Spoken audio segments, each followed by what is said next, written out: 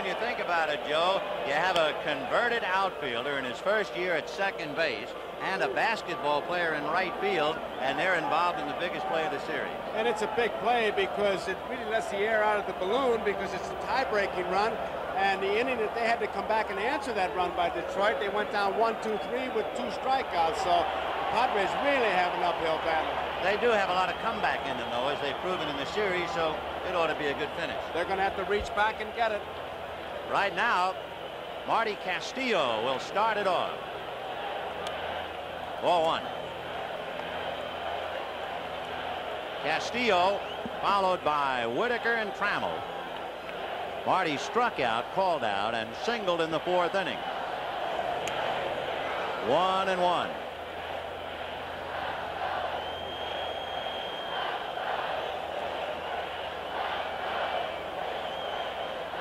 Bottom of the sixth inning.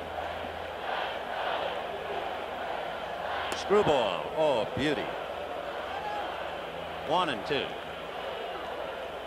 Of course, if he could ever call pitches, this is the place, this ballpark. we're, we're peeking right over Kennedy's shoulder. Another screwball, and he pulled it in the hole, backhanded by Templeton, makes the throw too late. Incredible play.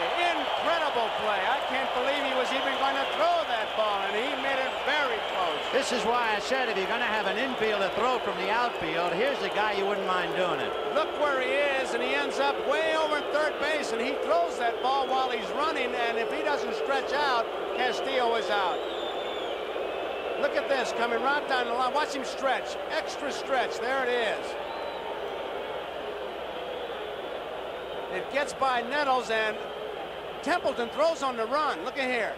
And is accurate with it.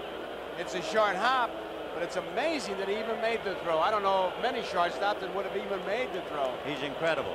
Uh, big chopper to Garvey. He tags the bag, throws to second, and the tag is there. Double play. Because once Garvey stepped on the bag, the force was removed. Templeton had to tag Castillo, and he did. It was right on the bag. Garvey only has to take a step. It's high. Look at here. And he's throwing. Templeton comes down with it, and Doug Harvey. There's Castillo hustling down. Wonder if he slid off the bag. He had him. Good look. Boy, and a great throw. Garvey has made three out of four.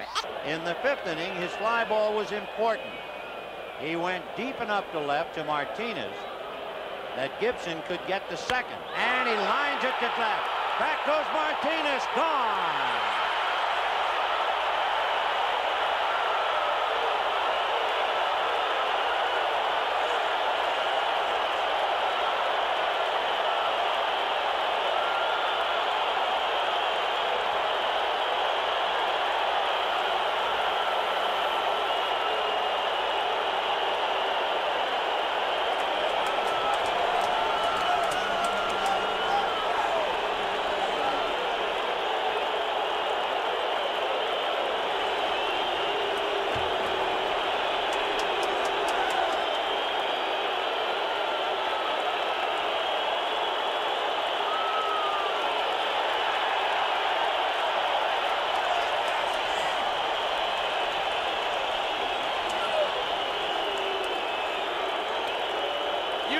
Fastball hitter sit on a fastball and you won't be able to shoot a bullet by him.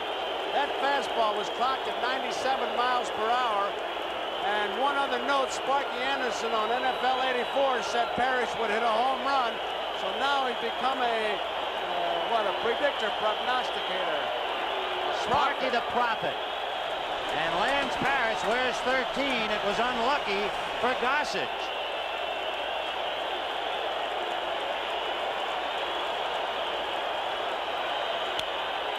That's a fly ball to Gwynn on the track, leaps in the air and backhands it.